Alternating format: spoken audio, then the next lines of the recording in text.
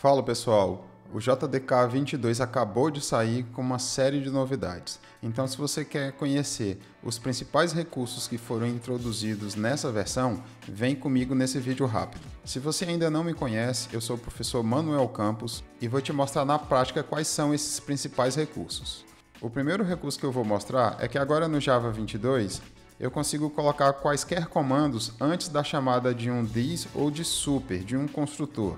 Como esses métodos são estáticos, eu consigo chamá-los normalmente antes da classe ser instanciada, mas isso não era possível de ser feito antes da chamada de um super ou de this nas versões anteriores do Java. Isso facilita muito o trabalho quando, por exemplo, você tem que fazer chamadas de métodos estáticos ou executar quaisquer operações para obter valores que você precisa passar para o super. Um outro recurso muito esperado é o recurso de String Templates. Esse é um recurso que já tem em muitas linguagens que permite a gente interpolar, colocar variáveis dentro de uma string. Esse era um recurso muito aguardado na linguagem Java. Aqui eu vou declarar uma variável string que eu vou chamar de MSG.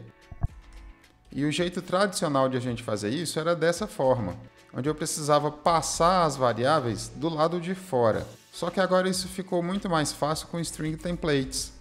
Eu posso vir aqui e colocar um str ponto e eu não preciso importar esse str. str é um processador de strings e a gente pode ter diferentes tipos de processadores. Você pode inclusive implementar os seus próprios. E o padrão que eles decidiram adotar foi colocar uma barra, chaves e o nome da variável que você quer.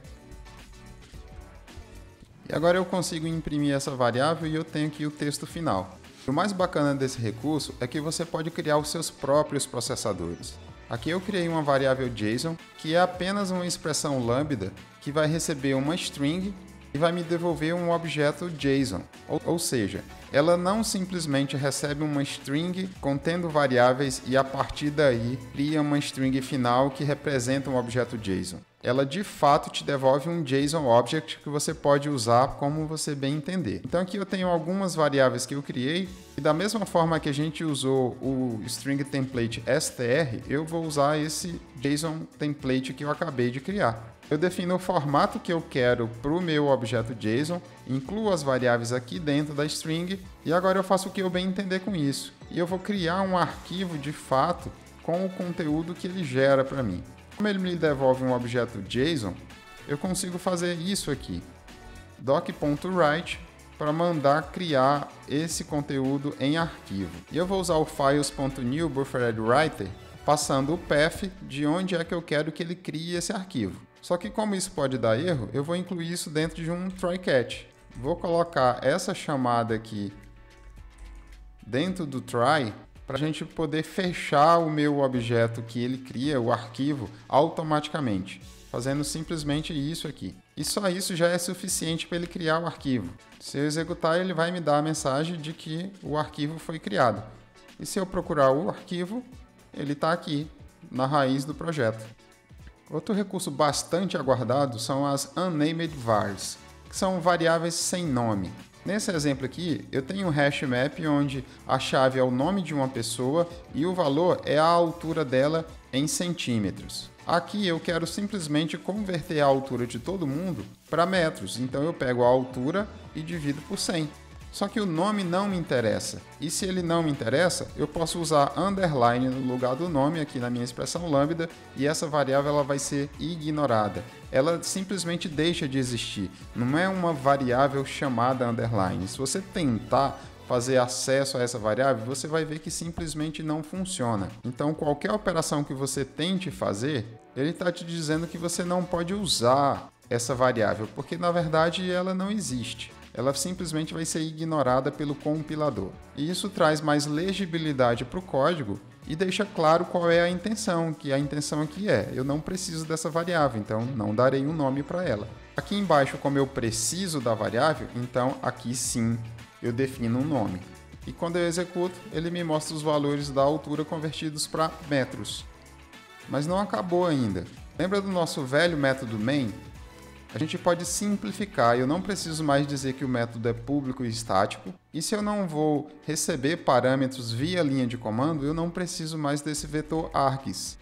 E o meu main pode ficar simplesmente dessa forma. E o meu programa continua funcionando como antes. Mas sabe o que é mais fantástico ainda? Você não é mais obrigado para programas simples criar uma classe. Então eu vou apagar aqui a minha classe e vou deixar apenas os métodos. E obviamente, essa superclasse aqui eu não consigo mais usar. Eu vou tirar o fecha chaves lá no final. E se você for usar essa estrutura de código sem uma classe, você também não pode definir um pacote. Então essa primeira linha some. Adicionalmente, eu não posso ter um construtor, muito menos a chamada do super. Então todo esse código que estava dentro do construtor, você remove e coloca diretamente dentro do main. E se eu reexecutar, o meu código continua funcionando como antes. Mas no JDK 22, eles levaram isso um passo adiante. Se você tem vários arquivos Java, você precisa compilá-los um a um manualmente ou usar alguma ferramenta de build como o Maven para automatizar esse processo. Aqui nesse exemplo, eu tenho duas classes Java, uma estendendo a outra, que estão na raiz de uma pasta qualquer. Eu posso simplesmente executar um Java e passar o nome do arquivo que tem o método main, e ele vai compilar todas as classes que essa outra classe que eu informei precisa. Isso torna muito fácil para quem vai começar a aprender Java. Esse último recurso vai facilitar imensamente o ensino de programação em Java. E aí, o que achou de tudo isso? Se gostou já sabe, não esquece de deixar seu like e se inscrever no canal caso ainda não seja inscrito. Ah, e não esquece de compartilhar esse vídeo com todos os seus amigos javeiros. O JDK tem uma nova versão a cada seis meses. E se você não ficar atento, você vai perder todas essas novidades da linguagem. Obrigado por assistir até aqui e a gente se vê num próximo vídeo.